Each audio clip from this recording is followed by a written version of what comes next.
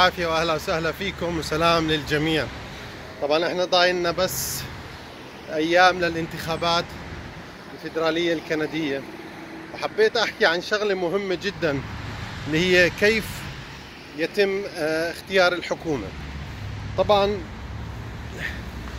موضوع اختيار الحكومة الكل حكى فيه يمكن والمعظم حكى هي الطريقة الأكثر شيوعا اللي هو أكبر عدد المقاعد الحزب اللي بياخذ أكثر عدد مقاعد هو اللي بيأسس الحكومة. لكن للأسف هذا ليس دائما هو آه، اللي بيصير.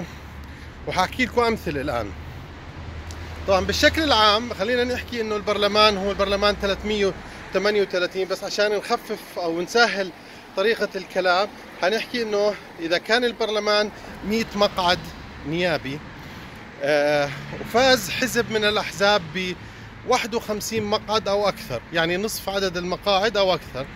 فبيستطيع إنه يكون حكومة بتسمى حكومة الماجورتي أو الأغلبية.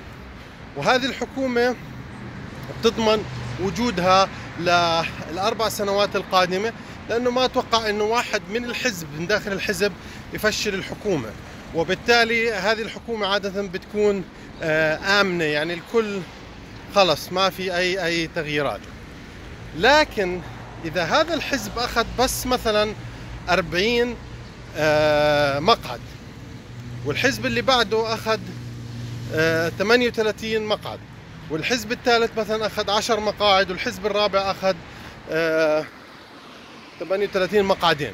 أوكي؟ ف هون بتصير الشغلة اسمها minority government. اللي هي حكومة الأقلية. وبالتالي شو يعني؟ يعني الحزب اللي أخذ 40 مقعد بطلب منه الحاكم العام أو الحاكم النائب في هذيك المقاطعة إنه يأسس الحكومة. آه كيف يأسس الحكومة؟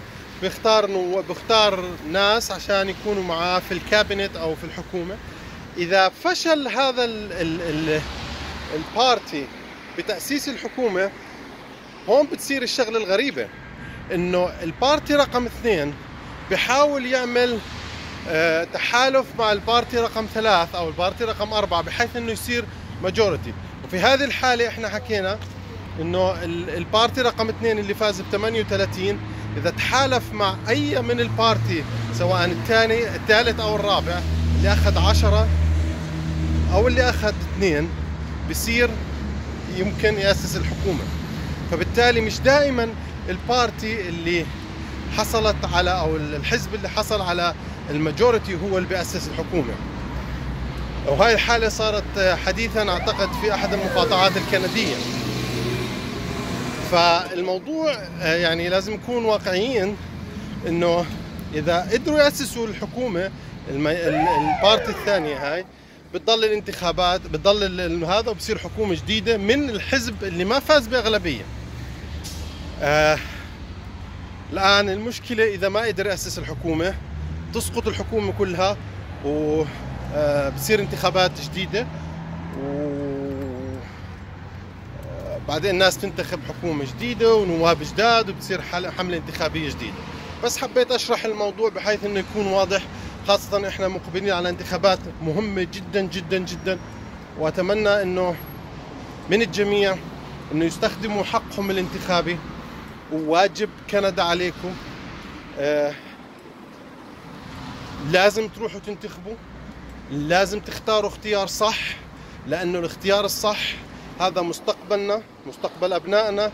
آه يعني أنا بعتذر لكن آه بيحكوا إنه السياسيين السيئين بيختاروهم الناس الكويسين اللي ما بيروحوا ينتخبوا. بما معناه إنه إذا إحنا ما رحنا انتخبنا وتوكلنا وتوكلنا okay إنه في غيرنا حينتخب آه، أكيد راح يوصلوا سياسيين آه، ليسوا بالجيدين. وأنا بحكي للشخص اللي ما انتخب آه، مش من حقك أصلا إذا كان عندك حق انتخابي وما وما استخدمته مش من حقك إنك تروح تعمل complain after that لأنه أنت السبب في الوصول إلى ما وصلنا إليه. فيعطيكم العافية مرة ثانية ونراكم. السلام عليكم.